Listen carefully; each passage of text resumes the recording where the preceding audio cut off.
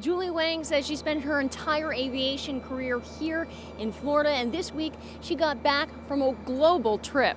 In less than a month, Julie Wang flew around the world solo. From the expanse of the desert and the open ocean, she saw it all from the cockpit of a single engine Cirrus. For this trip, I enjoyed every moment.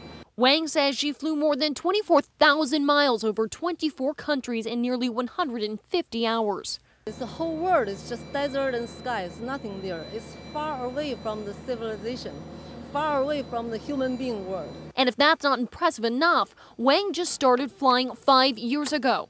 Now the West Palm Beach flight instructor is the first Chinese woman to fly around the world solo ever. It's a distinction Wang shares with less than 10 other women in the entire world. Fly around the world will be the new challenge for me and to, to bring me out of the comfort zone.